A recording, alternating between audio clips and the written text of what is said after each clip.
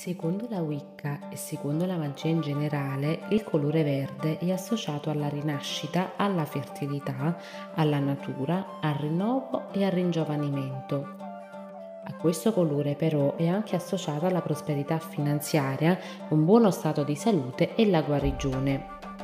Il che rende quindi questo colore ideale per gli incantesimi con questi intenti. Accendere una candela verde è molto utile quando si vuole meditare e concentrarsi sulle diverse forme di prosperità.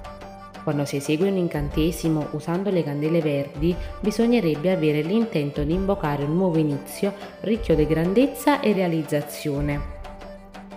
La differenza tra il colore verde e quello rosso sta nel fatto che il rosso evoca delle energie legate alla passione e al romanticismo, mentre il verde è più permanente e rappresenta quindi un matrimonio valido o un rapporto fedele.